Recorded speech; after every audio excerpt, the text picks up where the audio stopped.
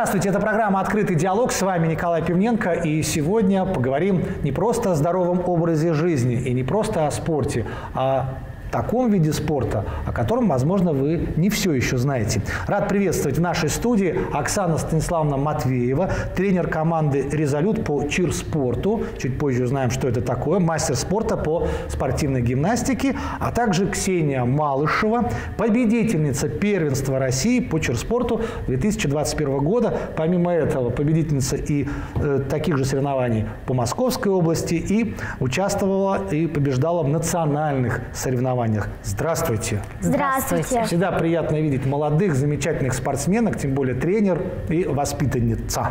Скажите, пожалуйста, у вас сколько медалей? Раз, два, три, четыре, пять, шесть, семь, восемь, девять. Это все по черспорту? Да. Это все ваше? Да. Ага. Как вот такие медали, Оксана Станиславовна, можно заработать? Выезжая на различные соревнования, соревнований проводится много, от региональных соревнований, от клубных соревнований до чемпионата России. Угу. А вот э, наверняка у кого-то возникнет вопрос, а что такое чирспорт, что такое чирлидинг? То что название, которое, наверное, нам нужно расшифровать как-то для некоторых да. наших зрителей. Ну, чирспорт – это вид спорта, включающий в себя несколько э, так сказать, видов спорта, как спортивная гимнастика, акробатика и танцы. То есть это смешанный такой вид спорта. Как бы спортивные, да, да, танцы?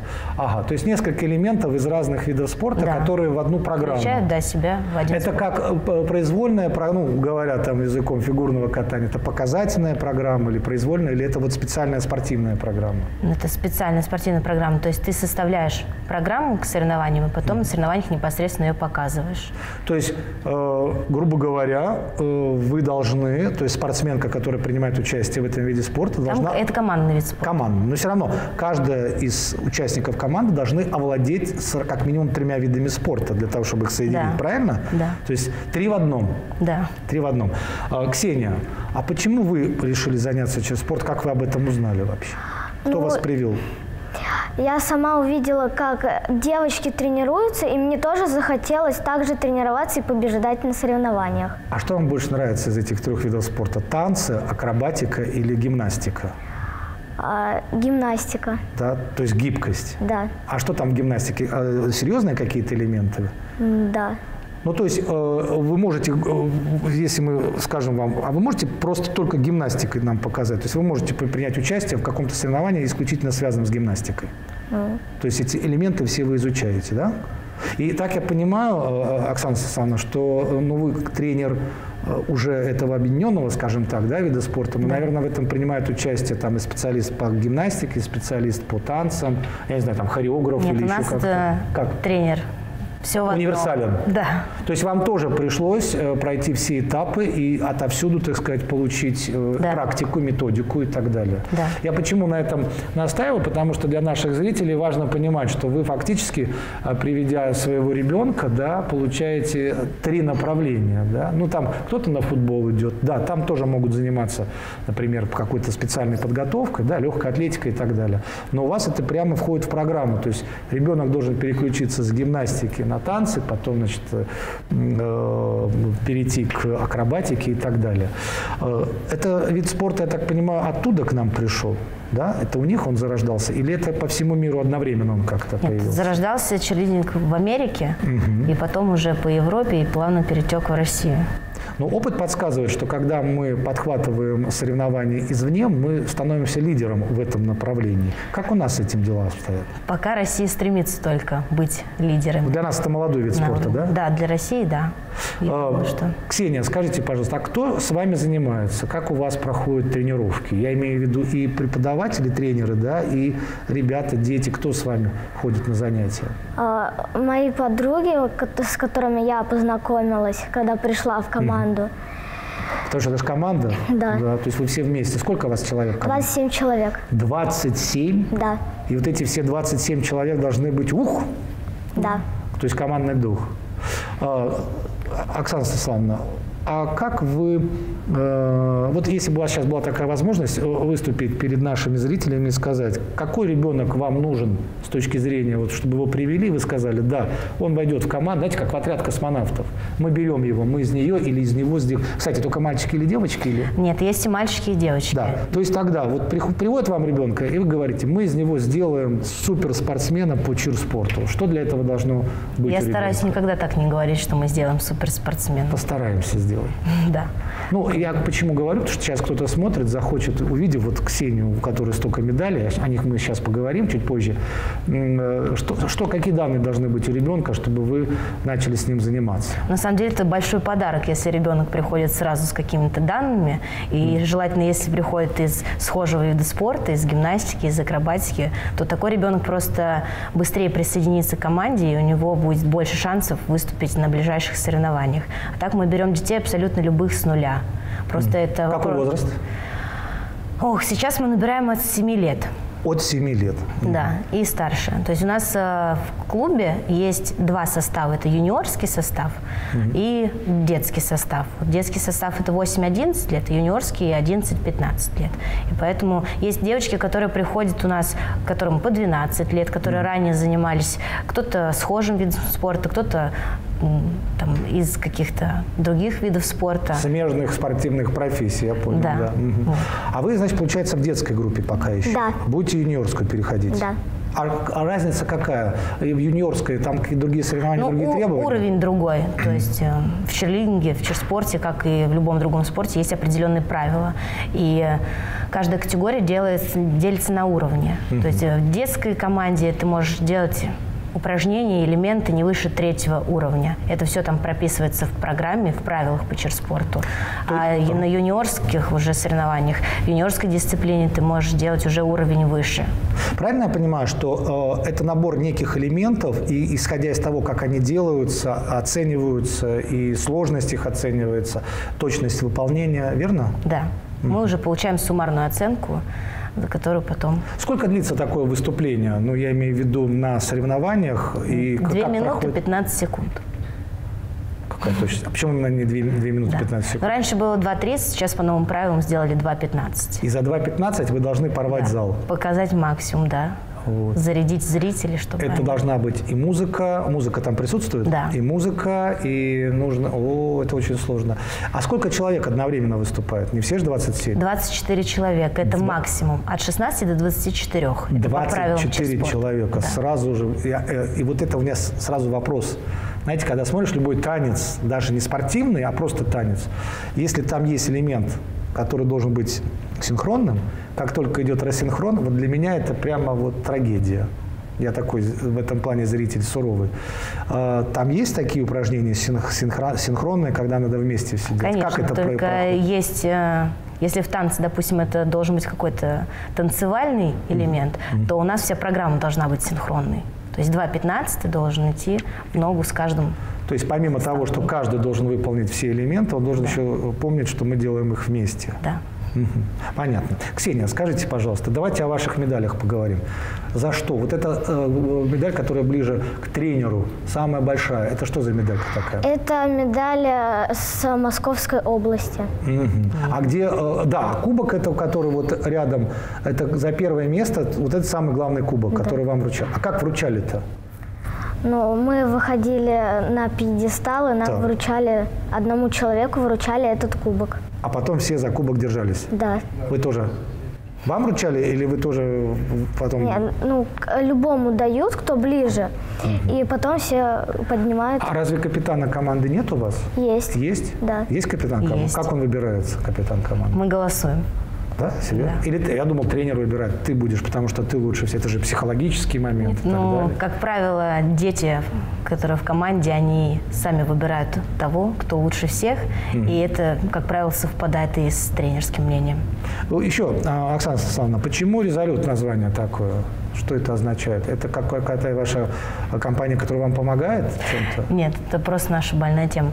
Когда у нас э, создавалась команда, очень быстро и резко мы собрали. Ведь команда создалась у нас так, что а.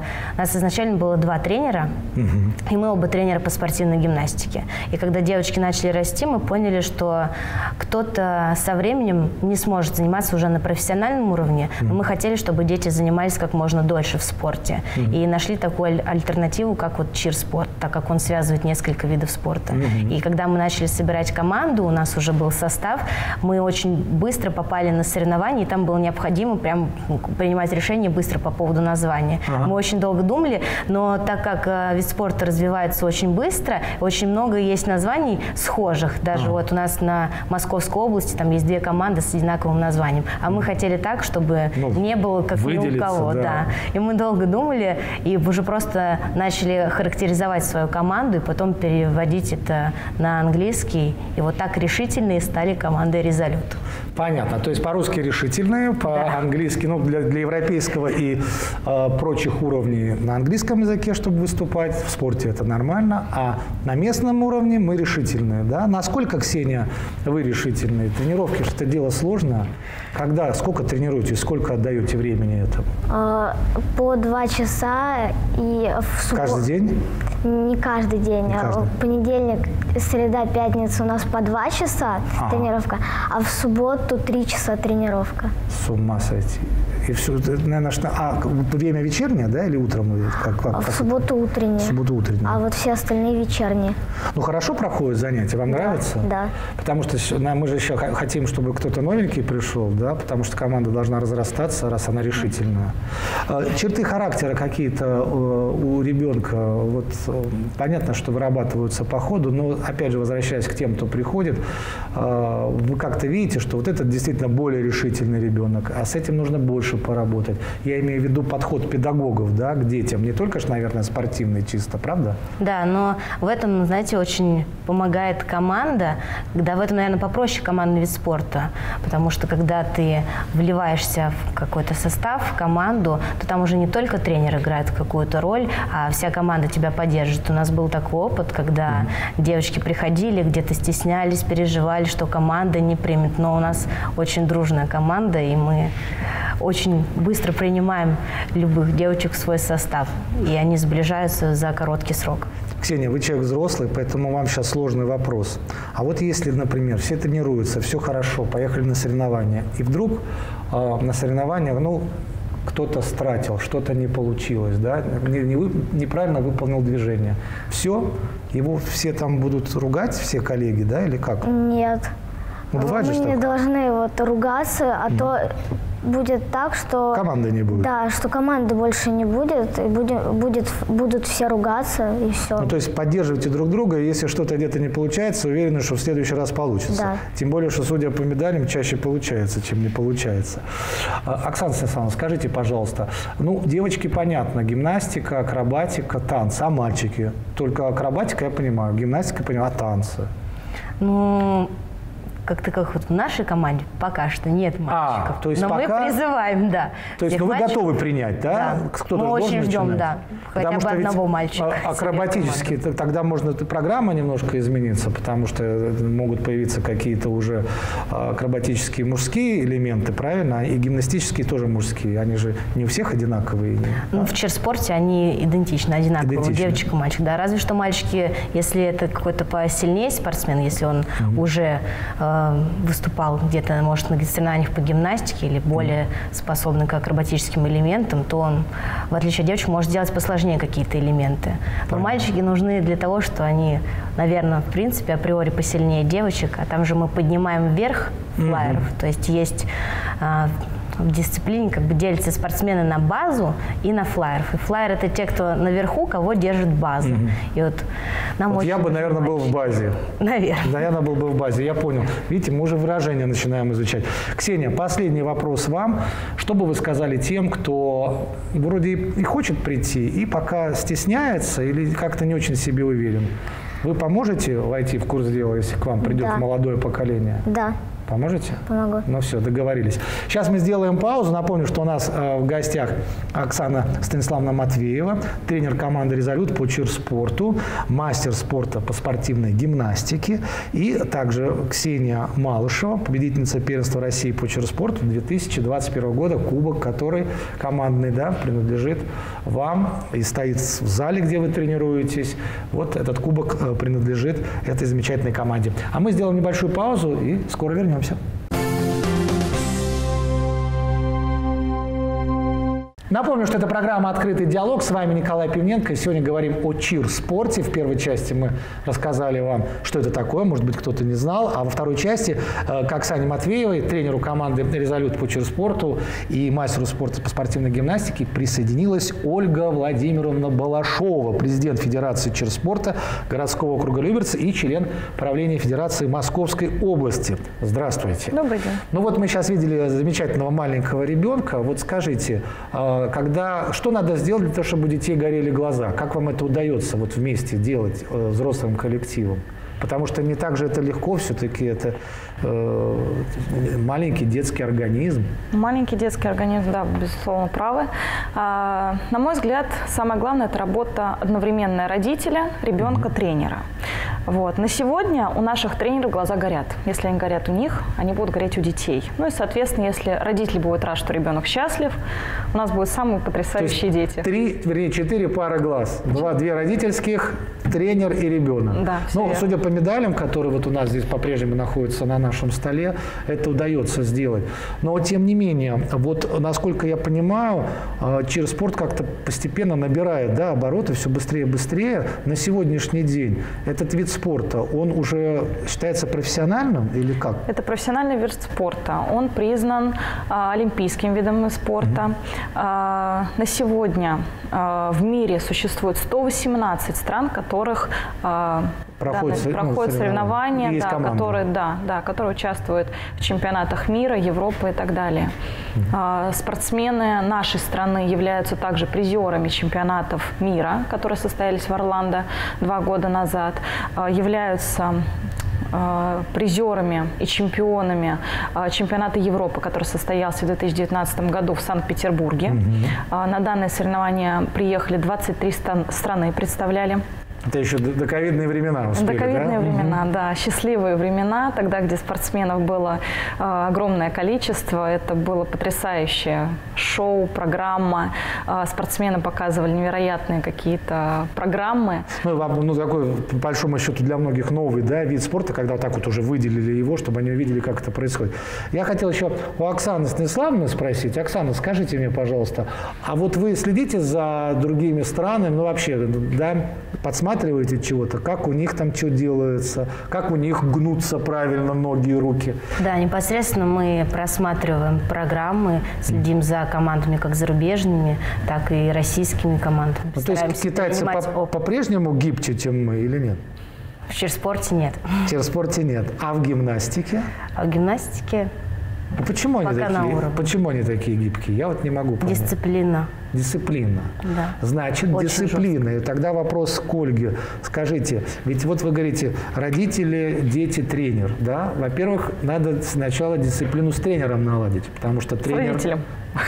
С родителем. Сначала с родителем. Потом тренеру, чтобы было хорошо, комфортно работать, и чтобы он получал удовольствие и отдавал ребенку все, что только можно. И, наконец, ребенок. Как вот это все, все это можете... На мой взгляд, мотивация. Так, Грамотная мотивация ребенка, она будет способствовать правильной дисциплине. Дальше уже тренер, который соблюдает все правила вида спорта, настраивает ребенка на работу и показывает то, к чему он будет стремиться. А у нас на сегодня это все видно, соцсети и так далее, дети это все понимают. А, Соответственно, они будут хотеть работать в дисциплинированной команде. Это командный вид спорта, да? Раз командный вид спорта, то, естественно, а, здесь еще нужно какой-то командный дух. Для этого есть какие-то специальные вы там курсы с ними проводите, как? Или все только на площадке, на тренировочной происходит? Помимо тренировок, дети участвуют в мастер-классах, спортивных сборах, а, общих каких-то мероприятиях, выезды на природу, в кинотеатры, А, ну, то есть так командный дух. э, Естественно, это все поддерживается. да. А, Оксана, скажите, пожалуйста, но ведь дети же, они же мотают нервы. Ну, давайте между нами говорить, пока ну, во второй части только взрослые здесь находятся. А, мотают в том смысле, что они хотят иногда сразу и всего, сразу стать чемпионом, и чтобы меньше трудиться. Как вы их мотивируете? Вот это слово прозвучало. Это тяжелая работа? Не выходите из себя? Как вы держитесь? Непосредственно это тяжелая работа. Иногда бывает такое, что выходишь из себя, но стараешься как-то держаться, да, сдерживаться. Но вы, зл, вы злой тренер или справедливый? Справедливый. Понятно. А добрые тренеры? Ну, понимаете, как бывает? Злой тренер должен быть и добрый. Один немножко должен чуть-чуть больше хвалить, а другому все время нужно не нравится. И ребенок, мне кажется, и к тому, к тому будет ну, внимательно относиться, потому что тому надо все время что-то доказывать, а этот всегда скажет, что ну, вот хорошо, ну и хорошо, и я дальше начинаю идти. Вот я веду, а, а, Ольга, вопрос к психологической составляющей, потому что тренер – это не просто тренер, он может знать все замечательные элементы, но он должен быть еще педагогом, психологом. Как вы выбираете тренера? Именно по данным составляющим. То есть тренеры нашей федерации, они обязательно должны быть первое с педагогическим и тренерским образованием. Ну и далее уже смотрим по их потенциалу, по их возможностям. Но более того, скажу, так как у нас разносторонний вид спорта, это не танцы с помпонами, это не просто танцы, да, у нас много составляющих. И тренер не профессионал не выдержит, наверное, работать в нашем виде спорта. То есть это не человек с улицы, а это именно да. профессиональный человек, Условно. который знает. То есть для как кого подход. есть такое понятие, да, э, большой спорт, да, профессиональный спорт, когда мы должны делать все правильно и все-таки не забывать о том, что это дети, что любая травма может быть опасна. Естественно. Вот. И вот тут такой вопрос. А, проводите ли вы какие-то встречи с родителями, что-то им подсказываете, ну, чтобы какая-то дополнительная подготовка была? Безусловно, работа с родителями ведется по режиму питания детей, угу. по просто режиму дня, по правильному соблюдению да, у нас дети все, сто процентов наших детей, они наблюдаются в нашем Люберецком физкультурном диспансере. Ага. Да, то есть мы напрямую работаем с врачами, нам дают рекомендации. Да, то есть если есть какие-то запреты на временное там ну, надо подождать, да. Да, да, да, да, да. То есть мы проводим работу с детьми, пытаясь их э, вывести из какого-либо состояния, будь то проблемы с суставами, с коленями. Да, у нас сейчас, к ну, сожалению, в связи с экологией, да, много проблем у детишек бывает, поэтому стараемся найти оптимально какие-то для них условия. То есть вы фактически берете ребенка на полный такой комплекс. Родители могут быть уверены, что если не дай бог, да, ну, э, любой ребенок может просто так упасть, да, на улице, в конце концов, а вы за ними еще и следите в этом направлении. Оксана, скажите, пожалуйста, а были такие случаи, когда ребенок ну, ушел, надоело ему, а потом все-таки вернулся? Бывают такие случаи. Знаете, как вот, может, что-то разнервничался. Дети же не искренние. Что-то, может быть, не то услышал, не так понял, что было сказано. И все, ухожу. Вот. А потом вдруг возвращался. Бывает такое, конечно, и не только из-за того, что понравилось, не понравилось. Бывает чаще, что не справляются с нагрузками, но потом возвращаются как раз-таки потому, что не хватает нагрузки для дальнейших каких-то там Правильно. своих физиологических. Понятно. Ольга, скажите, пожалуйста, вот вы президент Федерации. Слово «федерация» говорит нам о том, что это такая организация, в которой должны входить какое-то количество да, участников. Мало того, вы член правления Федерации Московской области. Вот вы сказали про чемпионат и так далее и тому подобное. Правильно понимаю, что этот вид спорта, он все-таки молодой, он набирает обороты. То есть есть какое-то ожидание, что будут расти да, эти, как раньше говорили, секции, теперь мы это называем, ну, может быть, при спортивных школах, просто при школе. Да? Есть такое да, ощущение, нас... Э, потребность в этом? Естественно, да. То есть мы на сегодня развиваем вид спорта спорта достаточно стремительно открываются как частные клубы и секции, mm так мы стараемся и на государственном уровне. В 2014 году было открыто отделение в школе Олимпийского резерва. Вот, помимо прочего, а, мы стараемся внедрить в общеобразовательные учреждения секции, будь то они на дополнительном образовании, либо на, по договору аренды. И, соответственно, чтобы на базе каждой школы существовала секция черспорта, как в рамках, как волейбола в наше время было, футбола, чтобы дети могли ходить, заниматься, ну, развиваться в этом направлении, участвовать в чемпионатах. Ну, а тут есть еще интересный такой момент. Я э, предполагаю, вот ребенок приходит на черспорт, да, а там же есть три элемента. И вот он, э, например, больше всего ему начинает начинает нравиться акробатика или гимнастика, он может потом, например, уйти в большой спорт, ну, например, исключительно в гимнастику? Да, он может. То есть, то есть как начать. стартовая площадка для одной из, разно, из разновидностей, то, что мы говорили в первой части, что здесь как бы три в одном. Да. Да? А вот вопрос в связи с этим э, к Оксане. Вы все-таки мастер спорта по спортивной гимнастике. Вы, значит, все-таки на гимнастику больше упор делаете? Или вы уже, ну, как это, по 30% всего даете? Стараюсь... Провокационный вопрос. Нет, гимнастике непосредственно я не уделяю времени больше или меньше, mm. такого нету. То есть стараемся развиваться во всех направлениях, как и на тренировке. И просто сама программа не позволяет делать акцент на каком-то из одного Потому что спорта. комплекс должен да. быть, да? Но в любом случае, э, Ольга, правильно понимаю, что заполучить хорошего тренера не только психологически, ну, как педагога, да, человека, который э, на своем опыте, да, может показать и научить ребенка. Это серьезная задача. То есть, наверное, иногда тренеры, которые к вам приходят, кого-то могут с собой тоже привести.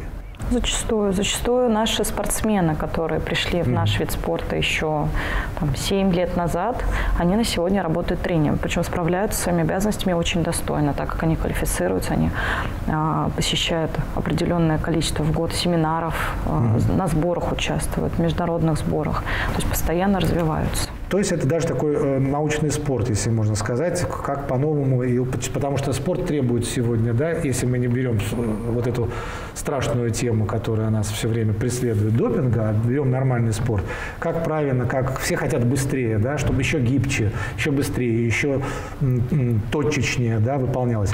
А теперь главный вопрос, который, наверное, и вас э, волнует, и, конечно же, Оксану, мы уже говорили об этом в первом тайме нашего разговора, а, прием. Вот давайте мы еще расставим точки над «и».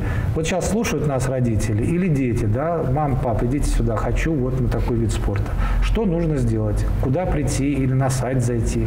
У нас есть э, сайт, у нас есть Инстаграм, Федерация, у каждого клуба свои странички есть, там, где указаны контакты каждого mm. тренера, адреса отделений, помимо прочего, и в наших соцсетях есть контакты. Ну и, соответственно, мы предлагаем, изначально это было по геолокации нахождения mm. родителей, ребенка, там, где было бы удобнее удобнее заниматься.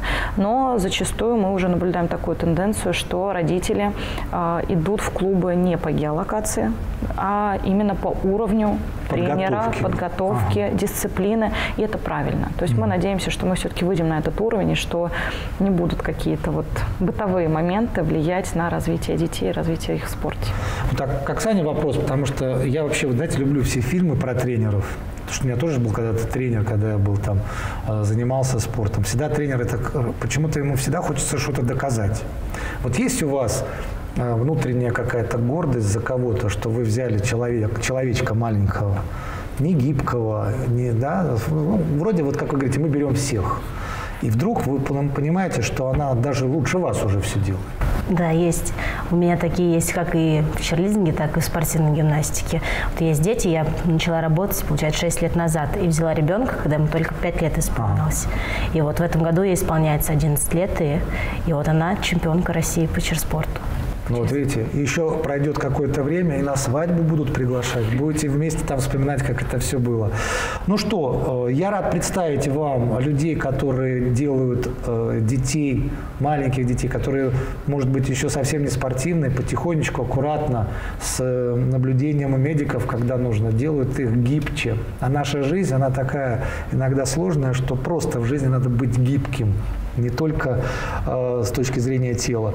Я думаю, что у черспорта, конечно же, большое будущее, потому что это, во-первых, красиво, своя эстетика и сразу три вида спорта. Всегда приятно видеть, когда человек, может быть, умеет гораздо больше, чем ты. И такая приятная зависть. А если это делает ваш ребенок, то это вдвойне приятно. Спасибо вам большое. Спасибо. У нас в гостях Ольга Балашова, президент Федерации черспорта городского округа Люберцы, член правления Федерации Московской области и Оксана Матвеева, тренер команды «Резолют» по черспорту, мастер спорта по спортивной гимнастике. Это была программа «Открытый диалог». Счастливо!